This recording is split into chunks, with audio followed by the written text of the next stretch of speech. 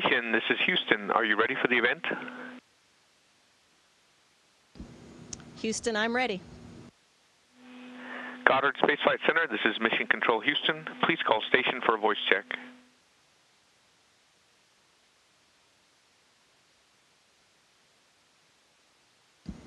Hello, Elizabeth, and welcome to the International Space Station. I hear you loud and clear.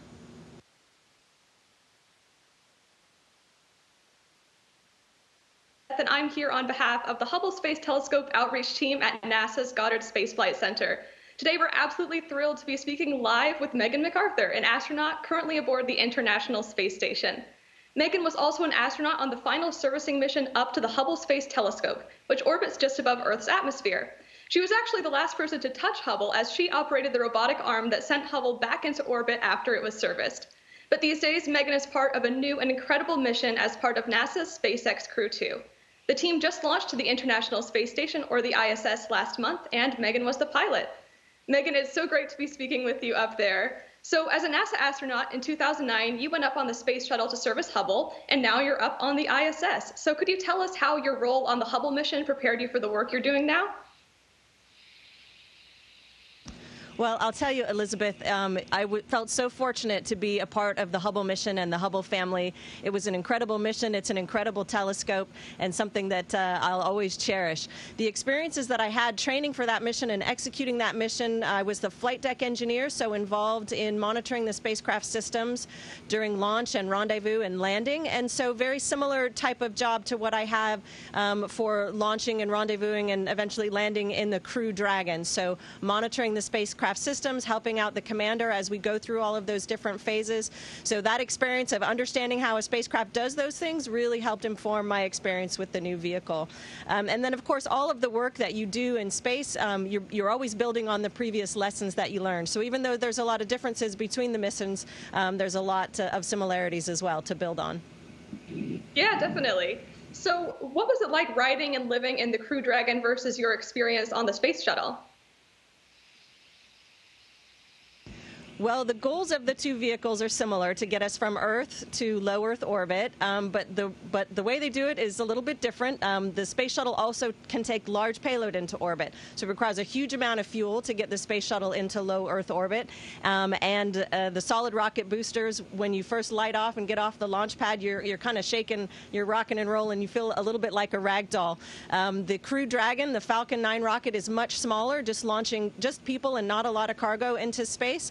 And and so it requires less energy to get you there. So a much smoother ride was my experience of the two. Um, and Crew Dragon, of course, is quite small. So we spent uh, almost 24 hours in Crew Dragon. The four of us, it was a very small space. Um, the Atlantis space shuttle is bigger than Crew Dragon, so we had more room to move around. But of course, it, has got nothing on the space that we have near now here on the International Space Station. For sure. That sounds awesome. So, the ISS is this amazing orbiting laboratory, and specifically within the fields of astronomy and astrophysics, which are two areas that Hubble specializes in. What sort of work is being done up there? Well, the International Space Station is a great platform for doing astrophysics research as well. It's outside the Earth's atmosphere, which of course can interfere, the atmosphere can interfere with particles that astrophysicists and astronomers want to observe. So this is a great platform for some instruments. We have a few that I know of. One is called NICER, which looks at the composition of neutron stars. Another one is called MAXI, and it's an X-ray all-sky monitor. And then, of course, there's the alpha magnetic spectrometer, um, which has been here for, I think, about 10 years. And and it's um, part of the search to understand dark matter. Um, we, as astronauts living here, don't interact really with those payloads very much, although I know that they're very important to the astrophysics community. Although a few years ago, AMS had a situation similar to Hubble where it really needed a, a repair job and it wasn't designed uh, to be repaired in space. And so a really ingenious team of engineers and folks on the ground developed the tools and hardware and procedures needed so that astronauts could go out and do some really tricky spacewalks to recover that instrument. So it does have that in common with the Hubble telescope. That's pretty cool. That's really interesting. So let's see, what are some of your main responsibilities and goals during your time up there?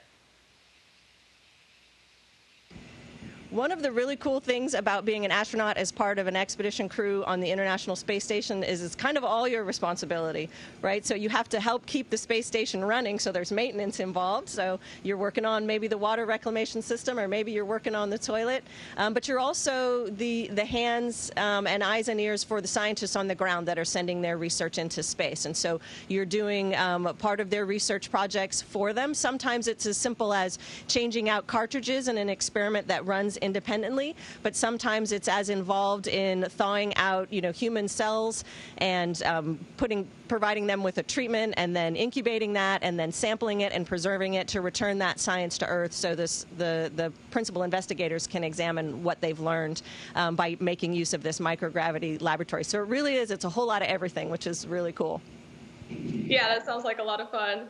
So, going back to the last Hubble servicing mission, you were living inside the space shuttle for about 11 days, and now you've been living up on the ISS for a little over a month now. So, have you noticed any like day to day differences between what it's like living on these spacecraft? Absolutely. Well, the first one we talked about already is obvious. There's a ton more space. It's like 6,000 square feet up here in the International Space Station. It's a lot of room to move around. Um, I could be in a module, and I can see right now three modules and I don't see any other people. And I know that there's a lot of other people up here. So it's a really big space, which is interesting. Another main difference between a short duration mission and a long duration mission, the short duration mission, you really train the heck out of every single thing that you know you're going to do. Um, and the days are very intense and you've got to get all that work done that day. Even if something goes wrong, you've got to figure it out that day and get it done. Um, Space Station has a very different pace. We're going to be here for six months. We're in it for the long haul. Um, you have to pace yourself and bring that energy every single day. And you haven't trained to do every single thing that you're going to do um, in detail up here. And so you're, you're kind of constantly learning new things, which is also very exciting. Definitely. And let's see, NASA has a lot of exciting missions ahead, especially with human exploration. And Hubble really helped NASA lay the groundwork for spacewalks and using tools in space. So, could you tell us a bit about the Artemis program and how the missions that you've been a part of are helping prepare NASA for this next giant leap? Absolutely. I'm very excited about the Artemis program. The Artemis program intends to land people on the moon again in the next couple of years, but more than that, it intends to develop a sustainable presence on the moon. And we're going to be working together with our international and commercial partners to achieve this. And there's a lot of things that we need to be able to do, right, once we get there to, to study and stay on the moon. We're going to need, you know, new landing technologies, new suit technologies, new rover technologies, habitat technologies, including power systems and water systems and all kinds of things like that. So, um, all, and all of those things are in our development path to sending people to Mars, um, which is amazing that that's going to happen in my lifetime. I'm super excited about all of that. Um, and the work that we do right here on the International Space Station informs all of this development. We are a research platform for all of these things, and so even this summer we're going to be installing new solar arrays that are smaller and more efficient than the ones we've had working here on the space station for over 15 years. Um, we're also um, upgrading our water reclamation system all the time, and so we're learning all of these things that are going to inform the development for our future exploration missions. So it's very exciting to be a part of this right now. Absolutely. So we probably have a lot of kids watching right now. So do you have any words of wisdom or a piece of advice for young people or specifically young women who are looking to get to where you're at right now? I think the best advice that I can give young people is to not be afraid to try new things one of the things that I've discovered um, as I've been an astronaut is that there's always something new to learn. And sometimes it might be something that you're, hey, you're naturally, you're really good at this, you have a knack for it, you get it right away. And other times it's going to be something you have to work at or something you think, oh gosh, I'm, I'm just not going to be any good at that. Um, but don't be afraid to try those new things. Even if maybe you feel like you failed the first time around, you're going to get better at it. You're going to ask people for help. People want to help you get better at these things. And so just kind of charge in there and, uh, you know, be prepared, of course course, but be ready to always be learning new things.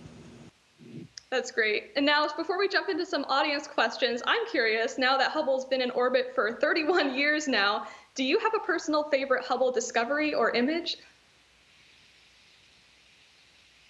Well, you know it's impossible to choose just one. Uh, I know you know that. Uh, you know, it's there's images that are beautiful just for the way they look and for or for what they make you um, feel, and then there's images that are amazing for what they tell us and what we have learned uh, about the universe. So if I had to just choose one, I would say that one that really stands out for me is the ultra deep field image, um, which is an oldie but a goodie. Um, and uh, you know, my understanding is that basically we pointed the telescope at a part of the sky that looked kind of empty from ground-based photographs and by kind of looking this deep core, looking for a long time and gathering, you know, what would, was very faint light over time, realized that there's, you know, so many countless galaxies just in this one little area of the sky. You know, we're looking back billions of light years, kind of galaxies long ago and far away. And, and I find that just very um, fascinating, very compelling to understand just this sheer dimension of our universe. It's kind of mind boggling. For sure, me too. I think that's that's probably my favorite as well, though it is definitely hard to choose. so we got in some great questions earlier this week on social media, and we can go ahead and take a look at some of those. Um, a user on Twitter asked, "How long does it take to get adapted to the space station?"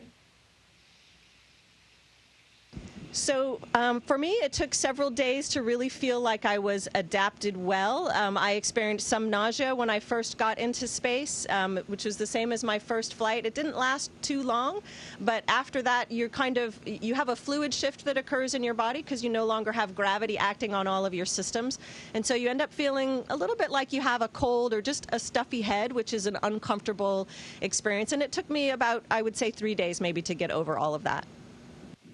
Gotcha. Okay. And another question from Twitter How is sleeping in space compared to sleeping on Earth? Well, it's interesting because um, it's a little bit harder to fall asleep in space than you might think. It's quite comfortable because you have no pressure anywhere on your body because you're just floating. But your brain is not used to just floating. You're used to having your head on a pillow or at least on the mattress or on the floor.